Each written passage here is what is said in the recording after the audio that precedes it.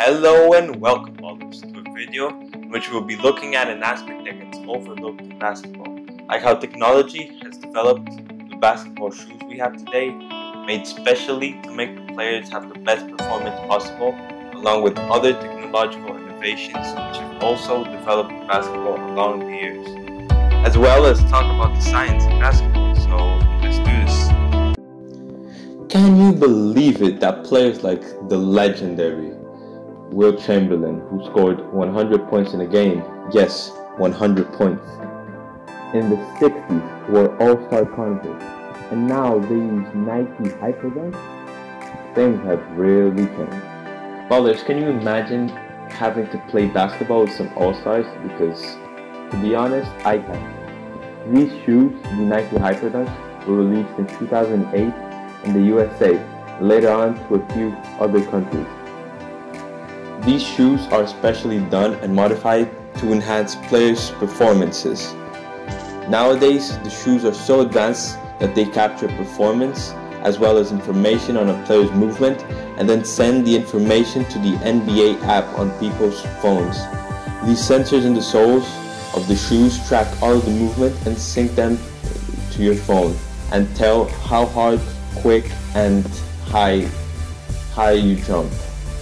Some players even have their own shoes like Kevin Durant with the KD 12s or even LeBron James with the LeBron 17s. So the Nike Hyperdunks are really strong, safe, and lighter for the NBA players to use and feel really comfortable. Sports VU is a technology that has really developed the NBA now not only individual players statistically by points, rebounds, assists, blocks, steals, and field goal percentage, but now they can take a deeper look into the analytics of basketball. Basketball, more than any other sport that I have ever accomplished for some time, is very driven by data. And what the Sports VU allows us to do is see how the points were scored, where they were scored from, and how as well as the rebounds, rebounds were contested, shots were contested, or anything else. It's no coincidence that all 30 of the NBA teams now have Sports VU. That says something about this new technology. Sport, Sports VU is, is also extremely useful to check the statistical picture for all the other NBA teams that you're coming up against. Now, let's look at something that has impacted basketball significantly but was not created for basketball social media. Now, with social media, people keep updated much more about basketball through media like Instagram, Twitter, uh, to talk about YouTube, amongst others. With social media, Fans can also check the media reactions and debates about what is going on through the course of the game, especially in Twitter, which they were not able to do before. But however, some people prefer when there was no social media because they say, quote, it was less toxic before and you you even have certain players like Kawhi Leonard which don't have social media. Nowadays, it's easier to get into players' heads with social media. However, in contrast to that, nowadays with social media, athletes can interact much more with fans, which fans love, teammates, and as well as watch videos from other teams. Social media has also been very beneficial for brands and athletes because now it is easier to get your name out there and promote yourself through marketing via social media. Now we will get into officiating. There's certain technologies that have obviously made technology become much better and for the games to become much fairer. First obvious one is the shot clock which made basketball personally much more fun to watch and made possessions more quicker and which gave the NBA teams to challenge organizing a play to convert in 24 seconds. And that is why I love basketball so mm-hmm. much. NBA teams now have Sports. That says something about this new technology. Sport, sports you is, is also extremely useful to check the statistical picture for all of the other NBA teams that you were coming up against to see how you punish and what you can take advantage of. Now we will get into the officiating. There are certain technologies that have made officiating obviously much better and for the games to become much more fair. First obvious one is the shot clock, which made basketball personally much more fun to watch and made possessions much quicker, which gave the team the challenge organizing a play to convert in 24 seconds. That is why we love basketball so much. I mean, can you imagine if there wasn't a shot clock? How basketball would be played? I mean, I would personally stop watching whole basketball games, and I, I'm pretty sure a lot of people would too. I'm pretty sure I would stop watching basketball at all. I imagine the winning team holding the ball for the last minute or so and not trying to score. And this and I and because of that I'm so happy that that the NBA has changed and now we have the shot clock. Oh, some of you might be more familiar with the VAR in football. This instant replay has basically the same concept. Uh, anytime there's a basket or foul before the end of each quarter, referees check their screens to see if they happened before or after the buzzer so that they can make the right call and also when a referee is not sure about a call they made or if they they had a call challenge they can look back at the play on the little TV and review the call and make the right decision hopefully on the play which makes the game much more fair which will end up benefiting most of us isn't it right there are also other technological innovations that have helped the development of basketball that I'm not mentioning like the the likes of mobile devices, wearable technology, amongst others. Now, let's talk science. Yeah, I know you guys are excited, so let's get straight into it. When basketball was first invented by the legend himself, Dr. James Naismith, players used a soccer ball, but then they changed and created a basketball because soccer balls were too smooth to play basketball. That is because in football you're not required to grip the ball, and in basketball you are. People struggled to play basketball with football back then, as they couldn't dribble, shoot, or hold it properly. That is how the orange and black ball we call basketball today was then originated. Basketball started play, being played with a bigger ball then and that is how we can today play the great game of basketball that we play. The basketball also requires more friction than the football because it makes it easier to pass, dribble, and shoot because it's less slippery.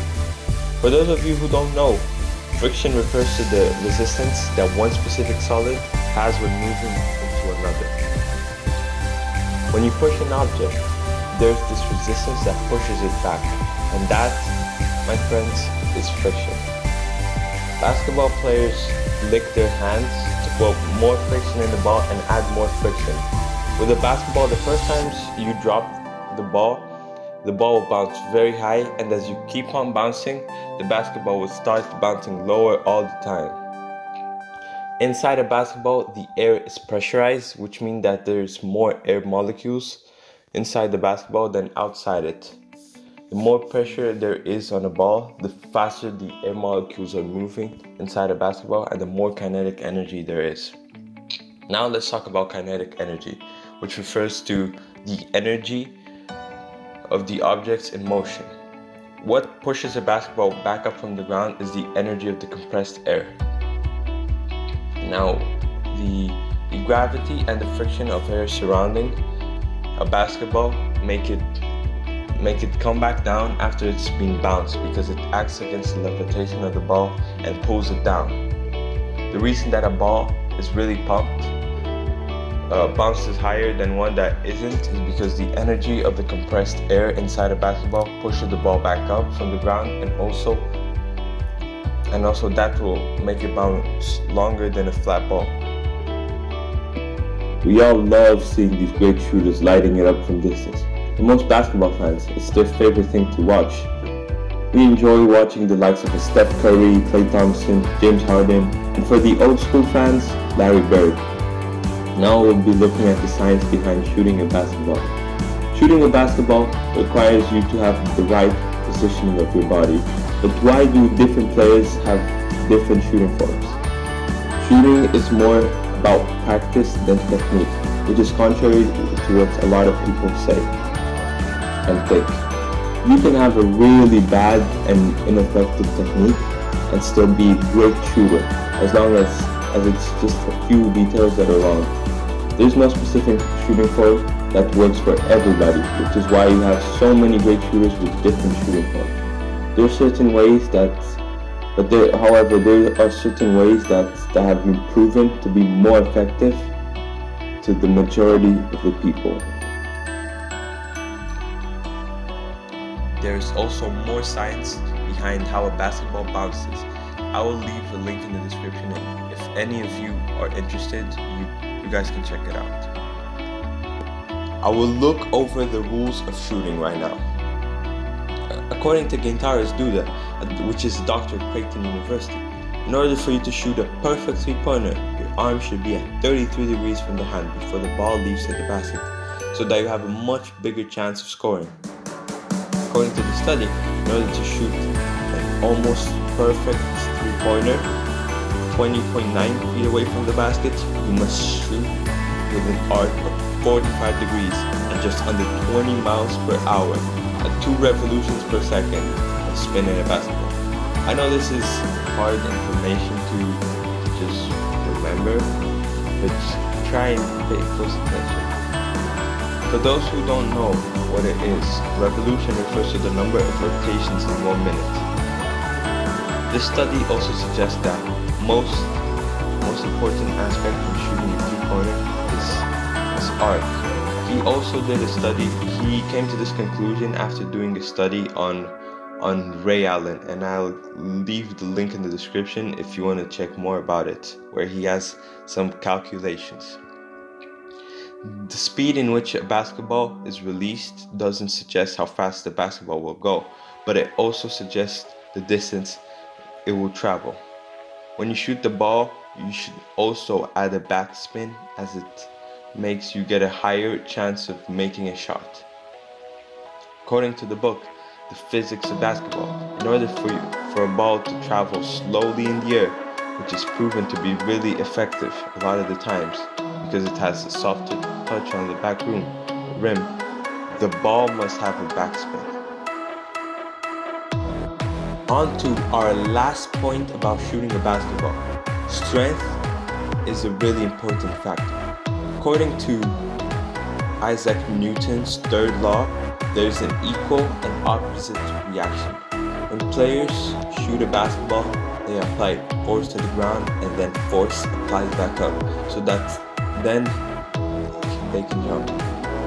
As he jumps, the force that allows him to jump is put into the ball before it travels with that force. So basically, the more force player puts on the ground, the more force there is on the ball. And that's why you see most of the players, coaches, putting a lot of emphasis in the legs before shooting a basketball. So when you're shooting, the lower body matters as much as the upper body, which a lot of people don't know. If you want to make shots consistently, keep on practicing because eventually you'll make more shots and shots more consistently. Remember to look over some of the rules that we look over when it comes to shooting a basketball, which will end up benefiting your shooting form and you as a player. I would like to also address a matter that concerns me as a basketball player to see how these women are putting a lot of their effort, time, and sacrifice into but they are not always getting treated the right way. Let's take a deeper look into this problem. The WNBA players have been very vocal about their concerns regarding the WNBA. Elizabeth Cambage, which is a WNBA player, which is scoring who scored the most points in a WNBA game in 53 and had had her name called out on Travis Scott and Drake's song. She's been very sad with the unfair treatment of the WNBA, which has led to her dealing with depression and then aban- not only abandoning the WNBA but basketball for some time. Liz Cambage came into the WNBA in 2011 and then left the league because of a lot of problems. She then tried to to come back from retirement in 2013, but she claimed the things were still the same. So she left the game once again. For the time that Liz, Elizabeth Cambage was not playing, she was she was not playing in the WNBA. She was overseas, like other WNBA players, because they say they're not treated the way they deserve.